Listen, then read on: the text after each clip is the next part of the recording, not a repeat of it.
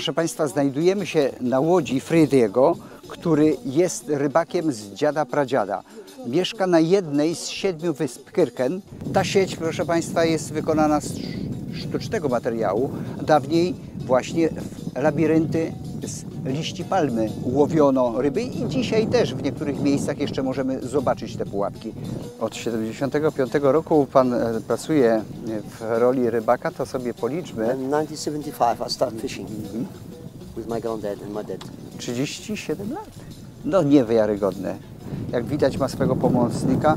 E, c'est votre fille? Votre, mon cousin No, cousin. To nie jest jego syn, tylko jest to kuzyn. Proszę Państwa, no, delektujemy się teraz chłodnym wiaterkiem. Nie wiem, czy on nie utrudnia nam odsłuch tego, co ja mówię, ale proszę zrozumieć, jesteśmy w naturalnym środowisku, delektujemy się cudowną pogodą, no i tym, co uspokaja. Szumem morza i taką pracą, która z jednej strony pozwala przeżyć tym ludziom, ale dla nas, turystów, z Polski, jest czymś rekreacyjnie pożądanym.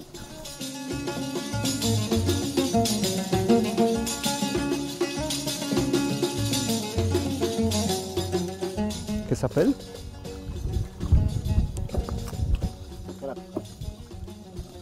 O, mamy kraba. Bardzo atrakcyjne. Zobaczmy go. Możemy poprosić tego kraba. Śliczny. Proszę Państwa, tutaj mamy takiego kraba. Nie chcę mu dać palca, żeby mnie nie poczęstował, ale no taki krabik sobie. Pokażmy tego krabika. Widać go. Kolego, spróbuj uciekać. No, może ci się uda. Ja ci pomogę. Widzą Państwo charakterystyczne szczypce. Cztery pary odnóży. Klasyczna rzecz. Tu jest przód ciała. I właśnie. Pokaż się. No pokaż się. On w tej chwili przerażony udaje martwego, ale sprowokowany jeszcze swobodnie by uciekał. Trudno mi będzie na razie go stąd wyciągnąć, ale zaraz. A proszę mi go pokazać. Może tego się uda uwo- uwolnić szybciej. No, widzą Państwo. Ten jest ak- bardzo aktywny, świeżo z wody. Usiądź sobie, kolego, usiądź. No, on zauważył. Tu są oczy, widzą Państwo? Tak, charakterystyczne. I bokiem tak zwane bo boczne chodzenie, charakterystyczne dla nich. I również bardzo klasyczna rzecz, niesymetryczność wielkości tych odnóży wyposażonych w szczypce.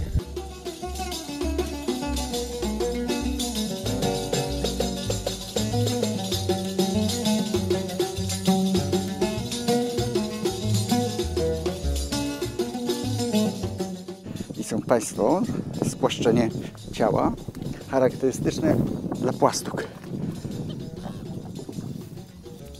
Asymetria nas zadziwia, ale dla ryby przydennej jest ona bardzo przydatna, zwłaszcza górna część maskująca się idealnie, a spód oczywiście bardzo biały i śliski. Tutaj otwór gębowy. Mewa przysiadła, prawdopodobnie zwietrzyła już łatwy łup, choć my chyba jesteśmy zasadniczą przeszkodą, by porwać te ryby. Ale myślę, że gdybyśmy się schowali, to w momencie znalazłaby się tutaj na pokładzie tej łodzi rybackiej, by rozpocząć ucztę.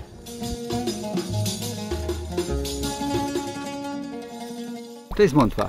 E, W tej chwili rzeczywiście widzimy głowonoga, ale to nie jest ośmiornica, tylko mątwa.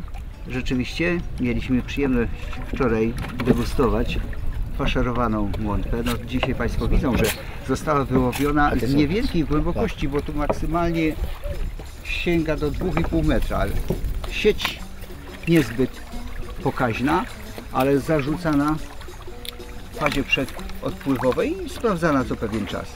Spróbujemy tą mątwę, proszę Państwa, wyłowić. Wśród głowonogów, proszę Państwa, mamy kalmary, ośmiornice i w tym przypadku akurat mątwy. Ta część ma taką płytkę usztywniającą, ponieważ one są, należą do mięczaków, ale wewnętrzny szkielet swoisty mają. Tutaj widzimy o macki. Otwórz nam. Właśnie to jest ta jama, którą potrafią wykonywać swoisty odrzut.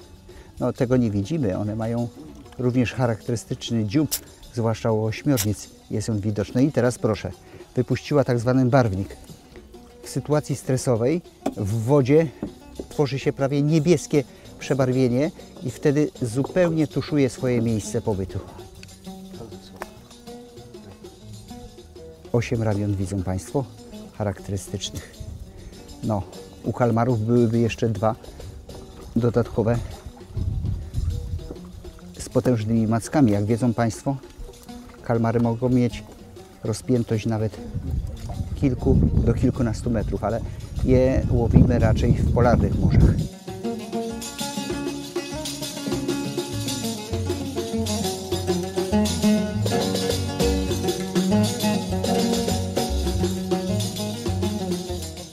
Czy Państwu jest znana historia, że kiedyś wykorzystywano barwnik kałamarnic do produkcji atramentu.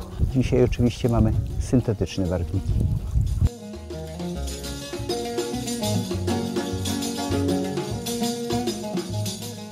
W sieci wyłowiliśmy fragment plechy wodorostów. To są glony morskie.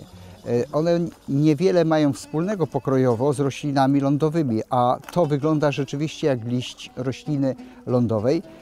Mówiąc o plecze, mówimy o jednostajnym organizmie. Te glony, rosnąc na niezbyt głębokich wodach, dostarczają bardzo cennego materiału nawet dla tapicerstwa tradycyjnego, ponieważ mają one dużą zawartość związków, które je w naturalny sposób chronią przed rozkładem czy czynnikami patogennymi. W związku z tym stanowią doskonały materiał wypełniający tapicerowane meble. Myślę, że nawet ekskluzywne meble czasami w miejsce gąbki właśnie wykorzystują tak zwane trawy morskie do tworzenia elastycznych poduch.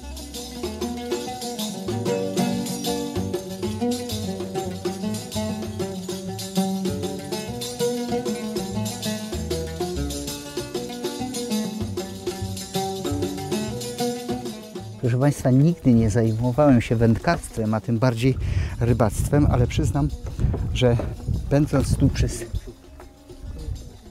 kilka, może nie chwil, ale parę godzin, stwierdzam, że istotnie jest to zajęcie bardzo odprężające. Tyle tylko, że jest refleksja nad żywotem tych stworzeń, które dostarczają nam pokarmu.